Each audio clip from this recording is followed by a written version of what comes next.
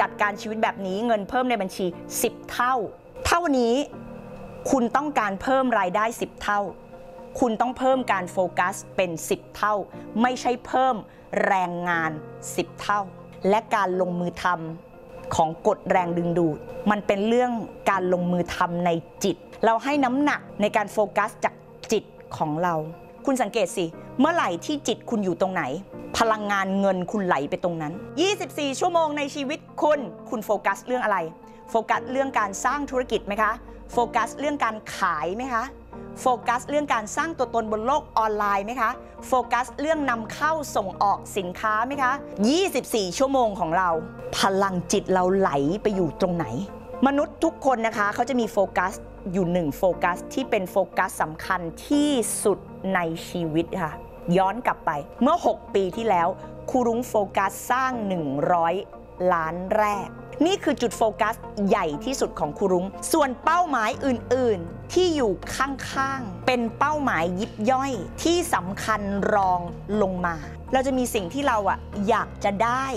ในชีวิตเราพร้อมๆกันประมาณ 3 ถึง 5 อย่างในชีวิตมนุษย์ แต่มันจะมี 1 อย่าง ที่ถ้ายิงอันนี้เข้าเป้า ไอ้เป้าหมายที่เหลือคุณกินรวบด้วยครุ้งขอให้เราโฟกัสหนึ่งอย่างที่ได้หมดทุกอย่างถามใจตัวเอง ทุกคนจะรู้อยู่แก่ใจตัวเองครุ้งตอบไม่ได้ คุณรู้ไหมคะ หลายคนที่ครุ้งเจอ เป้าหมายในชีวิตเขาไม่ได้เป็นเงินนะ บางคนอยากมีแฟนมากกว่าอยากรวย บางคนอยากดัง มากกว่าอยากมีเงิน เขาบอกเขาดังก่อนทุกอย่างตามมาเอง แล้วก็หลายคนนะคะที่เขาบอกครูรุ้งเลยว่า ชีวิตเนี้ยสิ่งที่สำคัญที่สุดของเขาคือสุขภาพ ถ้าเขาสุขภาพดี เขาได้ทุกอย่างในชีวิต คุณรู้ไหม หลายคนมากที่พอเอาสุขภาพร่างกายตัวเองกลับคืนมา อยู่ดีๆ ธุรกิจขาขึ้น ดึงดูดเงินเข้าเป็นร้อยเท่าพันเท่า หลายปีมานี้ครูเจอ คนที่ความสัมพันธ์ดีขึ้น แล้วเงินเข้าบัญชีเป็น 10 เท่า เพราะจิตใต้สำนึกของเขาเมื่อเขารู้สึกเป็นที่รักมันส่งผลให้เขา มั่นใจในการดำเนินธุรกิจ มั่นใจในการสร้างธุรกิจ แปลกนะพอเอาความสัมพันธ์กลับคืนมา เงินไหลเข้าบัญชี 10 เท่า พอเอาสุขภาพร่างกายกลับมา ธุรกิจเดินดียิ่งกว่าเดิม ความจริงก็คือจิตใต้สำนึกของเรา เขาไม่รู้ตัวเงิน ภาษาจิตใต้สำนึก ภาษาจักรวาล คือความรู้สึก เมื่อคุณรู้สึกเป็นที่รักทันทีเลย คุณขับเคลื่อนธุรกิจอย่างกับพายุทอร์นาโด